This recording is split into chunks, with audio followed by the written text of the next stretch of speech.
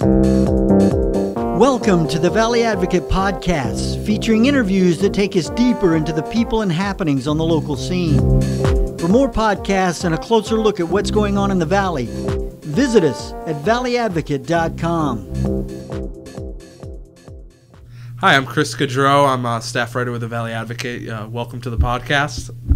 This is uh, Gina Beavers. It is me. Yeah. And we're here with Beverly Ketch and Hannah Brookman from Looky Here, a brand new space in Greenfield, Massachusetts. It's always pretty remarkable that I remember all those words together. But welcome! so glad to have you here. So tell us, what is this Looky Here? Um, it's a creative reuse and workshop space. Is So, it a maker space? Or is it Um, like a. I don't think it. Uh, a makerspace is usually really tech involved. Yeah, like- is that right? So no, I wouldn't say it's a makerspace. We have. Um, well, first of all, we're a reuse store, so it's like an art supply. It's a thrift store for art supplies and music equipment. And it. we're a nonprofit, so we can accept donations from people's art collections or supply collections and resell them for cheap. Um, and then the workshops, um, it's mostly a lot of the people involved just have skills and things that they want to share. There's um, my boyfriend wants to do a philosophy book club. There's people who are doing Spanish workshop. There's um, Beverly's doing children's classes, making fairy houses. Um, so, and we have a form you can fill out if you want to have your own workshop at Looky Oh. Here. So hopefully that'll be kind of because we have it's a nice space, so Yeah. you can have those kinds of things happening. But we also do have a tape duplicating machine, so people can make their own ca- cassette tape duplications. oh, cool! And we're working on fixing a risograph machine so that you can use that for print duplications. How So it'll be that kind of an art service also. But And I don't know where's- if it's a makerspace. But yeah, I would think that. No, I was just curious. This Yeah. is it's it's it's a community space for sure. For sure. and it'll pull people in around the arts. Mhm. And where is it located? 28 Chapman Street in Chap- Greenfield. In Greenfield. Mm-hmm. Exciting, exciting. So how did it all start? Well, I was um, walking in Greenfield and I noticed the spot where th- this, you know, sweet little funny s- storefront. And it seemed so appealing to me. And the thing is, Hannah and I and other friends had already gotten pretty deep into the project of um, starting our own TV show. And so I thought, honestly, maybe I shouldn't say anything because if I say I'd want to open up a space also, people are just going to think I'm crazy. Because, I mean, we're already in a deep in a project together. But instead of everybody thinking I was crazy, everybody was completely interested, and every, everybody kind of fell in love with the space when they saw it. There's something nice about it. There's something nice about how the light comes in. There's something nice about Big being in the windows. space Oh, nice. the the, it, the and it it's sort of you know i just it, it's just off from downtown's main street Yep. so it's very near downtown and it has that feeling but it also has a little set aside feeling too so it's a great place for things to happen and everything that we've done so far we've had because we have done things already even though the, the official grand opening is is going to happen on sunday um, we've already had poetry readings and drawing groups and um, writing workshops and Concerts and film yes series. and a film Wow. a film series so so and all those every every time i've i've made it i've to almost everything that's happened there not all because of just life but um, I, i've always just really enjoyed being there and also we we have beautiful art on the walls because it's also a gallery and that's been Oh. amazing to just be surrounded by that well those nice events go on I can't wait to see the spot. You saw it, Chris, didn't you? No, I haven't You- seen oh, it. you actually. did the article. Yeah, I, I wrote the article. Yeah. Uh, just uh, sort of the preview, uh, talking about uh, looky here and uh, what you guys are doing. Um, w- one thing that I found really interesting is that you guys are working on a children's TV show. Uh, Yes. Can you tell us more How about that? Fun. Well, yeah. Oh, wow. We're, we're having so much fun um, doing this because, I mean, you would think that um, there would be dozens of children's shows to look at where there are live action um, fairies and mermaids and things like that. But the truth is, there really isn't. You know, people haven't gone as far as they can, especially with the technology being so easy and available that we, as just amateurs, can can learn by ourselves. And you're very amateur. Yeah, we have to learn everything. Which is a beautiful part of the aesthetic. Right? Yes. I, I, I gotta see this. Yeah. Yeah, and I- kids can learn it themselves too. The kids so have with been the- helping us make it. So yeah, they're just as good as we are, and they have and, and and the kids in my neighborhood inspired it to start. And when I told Hannah, um, she took to the idea like a fish to water, and we are since then partnering on it. And then our f- other friends that have joined in too. We've all really had a blast with everything we've done so far. And we were able to get a couple of grants so that we can pay for the little expenses involved. There's a lot that's free, which is amazing. And we've gotten help from um, the local production company in Turner's Falls called Fast Lights, which, was, which came in incredibly handy. And also GCTV and MCTV and NCTV. NCTV. They've all helped, which means that that part is free, but there's still expenses just to make the props and the costumes, and so it's really been great to get a, a little grant and, mm-hmm. and to get started. We're having so And much And now fun. it's umbrellaed under the nonprofit of Looky Here, which is the, it's our media wing. So it's Gotcha. a community-based children's television program that's kind of sponsored by Looky Here. Oh my gosh. we finally that's got all of our ducks in a row, and I so we're having gonna- a That's big great. party It's on like Sunday. not a small thing to apply and receive your 501c3. That's and, a like, lot get of work. Insurance, And she- right, and a she- business license, and the grants. Luckily, you had the space because that that's always another spot. Mm-hmm. So you had your space first, and then you could like. Get Yes, your it did fall into place Yeah. pretty well. It wasn't exactly, you know, easy peasy, but at the same time, things did go pretty well. In That's fa- it happened fast. Yeah. I mean, all of this started not too long ago. in about so- November. Oh my gosh, that is fast. Yeah. Wait, how long did it take you to get your 501c3? You know what? We were really lucky we got it like that. I was gonna say, I mean, since November, that's amazing because that's a, that's an arduous process for a lot of people. Yeah. But we kind of dove. It's we dove right in and started doing things. Yeah. I mean, that's the thing. We were just able to say we were doing this because we were. Right, We- right, that was a nice thing to have a bunch of our mission that were, just kind of fell into place based on what we already wanted to do. Gotcha. So because we the- weren't organized enough in the beginning to actually have a steady mission and like a real plan and a business plan and an LLC. It all just kind of happened as Yeah. we needed it to happen when we started kind of hitting ground walls. It took us forever to open a bank account because we just didn't have what we needed to open. I know a bank everything account. kept going wrong with that. But we're learning so much. But you have to because And now you have grant money to take care of. now we Yes, have I to think you learn learn how faster to by take doing money. than any do. other way. I think you're right. It For- is interesting though because we actually met Hannah and I met. Um, well, we and the first time I set eyes on Hannah, we were looking at a building that the town was it would have been able to give for free.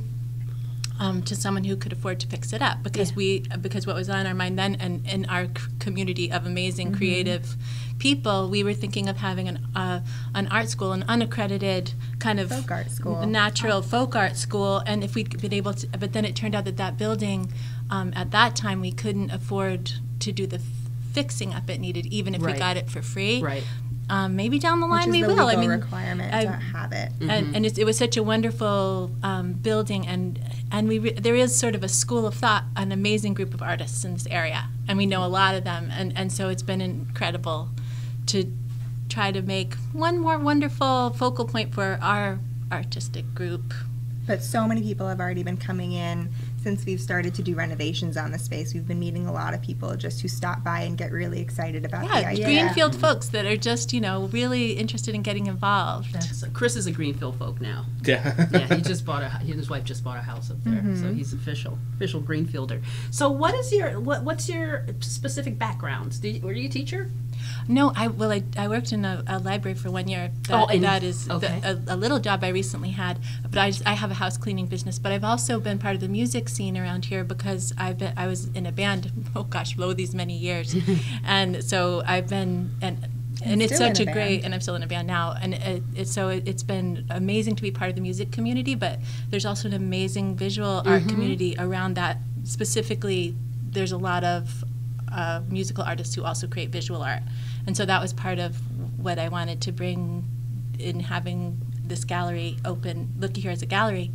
But then we ran into the problem that um, the fire department said that in the retail space that we had rented that there couldn't be more than 20 people in there at Oh. a time and that's why for our grand opening it's from the morning till the night because then it Oh, won't be a time where if everybody packed in Right. you know it would be like oh you have to You go gotta We- go. yeah Come back so that hour. was so that was one of the glitches we ran into that made us Oh have to completely goodness. change gear and re- rethink what we were doing. But it was luckily Sarah and Hannah who had were, think, were thinking on their feet and thought of a lot of great ideas that could still make it work, even though it wasn't going to be what we originally pictured. Right. That's pretty remarkable. But but I guess that does. I don't know if that answers the question. That's okay. What I do, but but but yeah, more or less maybe. I, I think it's really awesome that you're opening in Greenfield specifically because you, you, there's a large artist community in Greenfield, Turner's, also in um, like Brattleboro, Southern Vermont as well. So. Yeah, and it's all right. It's so so close. Mhm. And people, a lot of people have come up from down here too. Yeah. What about you, Hannah? Um, I I've been an artist forever, and I, I went to an art school when I was younger, and then I went to college in Vermont, and ended up back here a couple years ago, um, and befriended Beverly through my boyfriend Omid, who played music with her, and um, I I guess while I was in college, I was doing a lot of research. I went to school in Bennington in Vermont, and I did a lot of research in town about making an artist community because that town was really uh, it seemed really difficult to integrate into um, and nobody from the college would ever stay. And there was no i realized it was because there was no art and there was nothing that was even open after seven o'clock. Mhm. and i'm from denver colorado. Oh, and so i i grew up with a couple different kind of alternative art spaces that I were really important for me as a teenager. Um, they were kind of like you know a little bit risky, but mostly safe places for me to just kind of meet other artists, meet Mhm. other artists my age or other people older than me, people coming through town, and um, I was able to be a part of a community. And I was I was meeting um, people in town in Bennington that were interested in something like that. I was working in, in high schools and would kind of do interviews with all of the arts facilitators in town and asked if, you know, would this kind of art space be a good idea for Bennington? Would this be something that you think would be important for the community? And everyone said yes. But then I did graduate and move, just like everybody else. right. Um, and so that hasn't happened here, but I've been able to kind of pick up with that again through Looky Here, um, because I do still think that there is a need for a place for people to just kind of hang out. Yeah. And like it's a we want it to be a free to be space where we've got couches and record players and tea and like cheap free art supplies and cheap free workshops so people anybody can just come and kind of meet an art community or be a part of an art community. Because I think you're right. I mean, that's the thing about art. I mean, with musicians, it's different because, well, most musicians, because you you'll tend to collaborate and play together. Um, there are, of course, musicians who don't, not like Chris, but Chris is very social.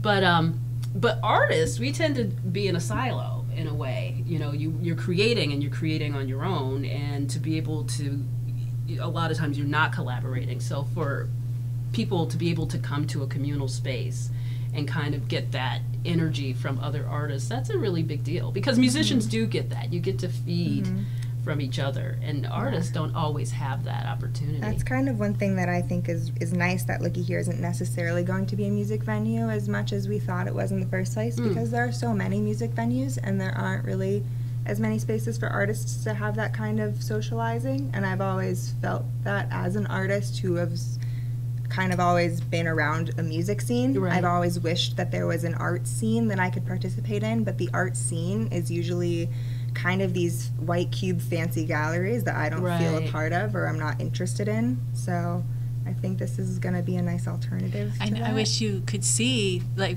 the free draw group that happens Ah. um, several times.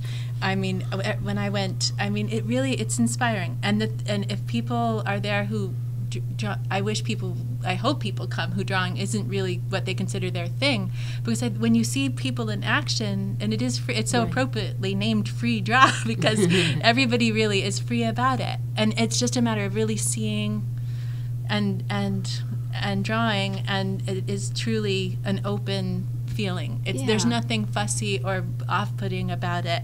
And i it, and it's and the more the merrier. It's been there have been great ones where just a few of us showed up and great ones where there were maybe a dozen people. Um, and it's so hopefully anyone who's interested sh- should make a point of coming. That will be weekly right? Mhm. It'll be weekly on Wednesday evenings at 7. Okay. And then I was going to do it the uh, last Wednesday of every month. I was going to try to hire a model because there's a lot of people who have interest in uh, Mm-hmm. Figure drawing drawing, right. nude, nude model figure Right. drawings. So that one would be a fee to pay the model. Um, but but that would happen at the end of every month. Mhm, Maybe mhm. you'd practice during the week, Right. and then you'd bring all of your good materials and do a, a big That's nice cool. one. That's cool. So do people pay to take workshops? Um, some some will be, Mhm. some will have fees, and some won't. Yep. Um, also depending on the materials, Yep. and we hope to. I mean, building the workshop calendar is something that we will probably work harder on next month.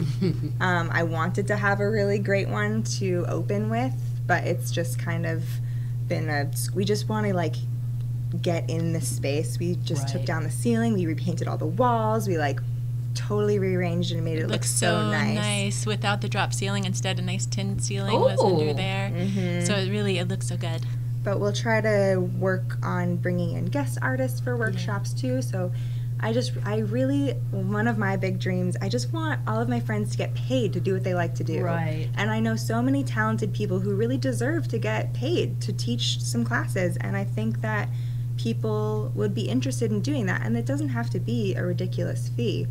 It could, Right, it absolutely could be, not. if, if, if, you know, 15 people are interested in one person teaching something, I think that it could be reasonable for both the instructor and the student to participate. So Absolutely. that's what I hope will happen.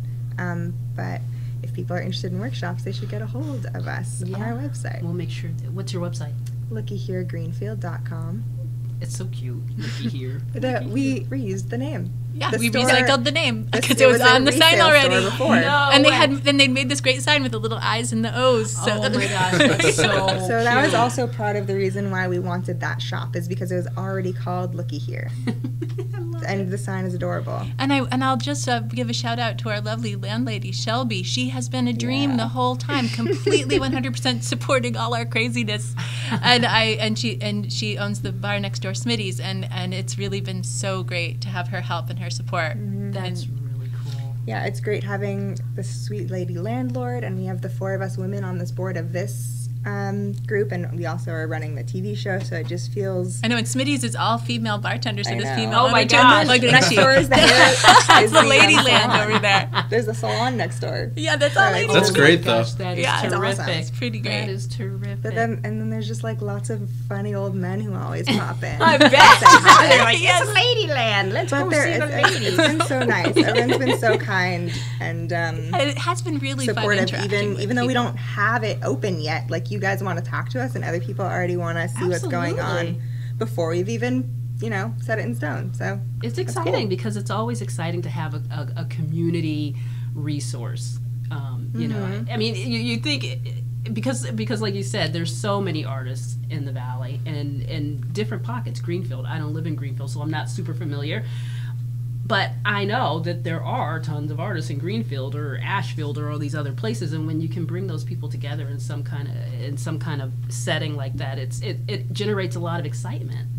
Because I think that people are always looking for a reason to get together. Yes, it has. People mm-hmm. have been so excited, Yeah. and that it's been been interesting to see that. Yeah. I, I mean, I think I think people are going to be excited also about having the resource of a place to donate their art supplies Sure. because the thing is when you sort of have these things sitting around and they're kind of like, ooh, you're Right. not I using don't wanna- yeah, I don't wanna throw You that know? away. I mean, It's right. So you know, then there's a really good reason to, and also and, you, and people could always come back and use it there. So if they Right. tried to take out, you know, That's so you true, know, right? And maybe Don't nobody use that but me. kind of like a phone shop, maybe. Right, a pod- Right. art pod. Yeah. That's great, and um, and it's tax deductible because you're Yes. a nonprofit. Yes. That's cool. Can't beat that. I know. Can't beat it with a stick. Yep, and we've gotten some great donations from great folks already. hmm That's great. So we'll have some good stuff on the shelves for the grand opening, but I really think it's gonna blow up soon. Yeah. Yay! Just have a feeling. Just got to feel That's how it is when you take donations. I think that's the f- how you got to be prepared for that. That Right, there'll be a right, time right, where like, oh, oh, oh, the shelves are full. but, Oh my god. Well, we only can hope for that for sure. hmm Thank you guys so Yeah. much. Yeah, for thank having you. us on the show. Oh my gosh, I'm so Thank excited you. for you. Nice to meet you guys. guys. have a great too. show. A lot of good that. guests. yeah, Yeah. that was Appreciate that. wonderful. Yeah. I was really inspired by those other guests. yes. Yeah, they're cool. They were cool, and so are you. Thanks for listening, and don't forget to visit us at valleyadvocate.com. Thank you.